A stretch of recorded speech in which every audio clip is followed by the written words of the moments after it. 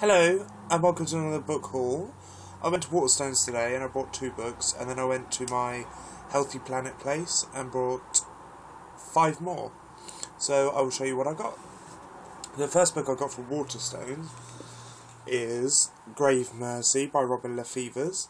This is uh, book one in his Fair Assassin Chronicles. And yeah, it's called Grave Mercy. It's basically a love story. Um, I'll, I'll read you the back. Trained as an assassin by the god of death, Ismae is sent to the court of Brittany, where she finds herself unprepared, not only for the games of intrigue and treason, but for the impossible choices she must make. How far can she deliver death's vengeance upon a target who, against her will, has stolen her heart? A dangerous romance full of intrigue, poison, and ultimately finding one's way. So yes, that's Grave Mercy by Robin LaFevers. I know the second book, Dark Triumph, comes out very soon, so I need to get on and read this. Okay, second book I brought from Waterstones is Throne of Glass by Sarah J. Maas. Um, I've heard this is a brilliant book, and I know the second one, Crown of Midnight, comes out pretty soon. Um, so I can't wait to read this. And then I went to the Healthy Planet, and I got five books for a pound. That's all five for one pound, not not a pound each. I was very happy, very very happy. And it's a brilliant place if you need books and you don't want to pay over the odds. And it helps the planet, which is why it's good. So, I got Impossible by Nancy Werlin. Now, this is a love story, I think, based on the song Scarborough Fair by Simon and Garfunkel. Um, on the back it says, A family curse, three impossible tasks, only true love can save her. I'm looking forward to reading this, but it's a huge book. Well, to be fair, it looks huge, but it's not that huge. Let me just see if I can find how many pages. It's 364 pages. So it's, it's quite big, to be honest. Okay, and then I got The Tesseract by Alex Garland.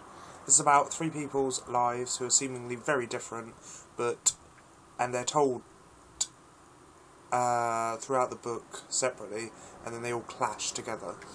So, and this is by the same guy that wrote The Beach, which is a film with I think I think it's um, Leonardo Leonardo DiCaprio in The Beach. Uh, it's the same guy that wrote that, so I'm looking forward to reading that one.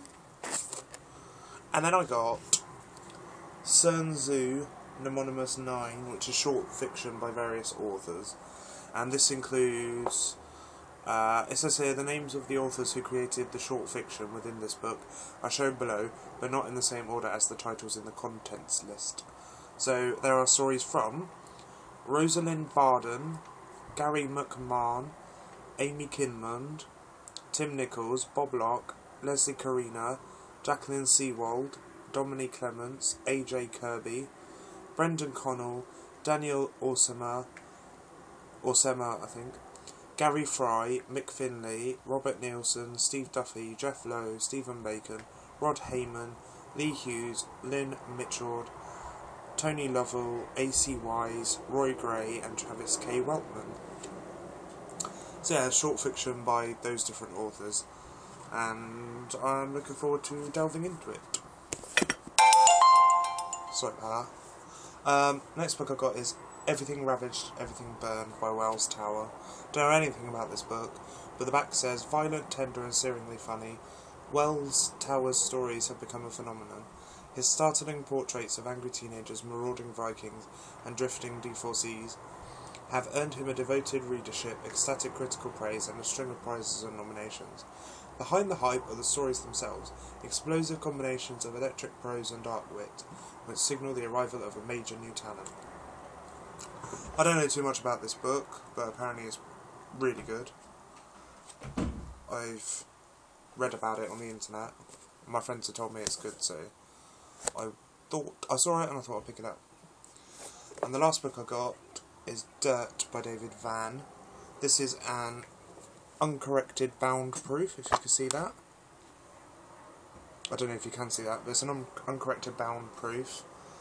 And on the back, it actually says hardback because it was published in hardback in June 2012 for twelve ninety nine. But I know you can pick this up in hardback in Waterstones for about eight eight nine pound now.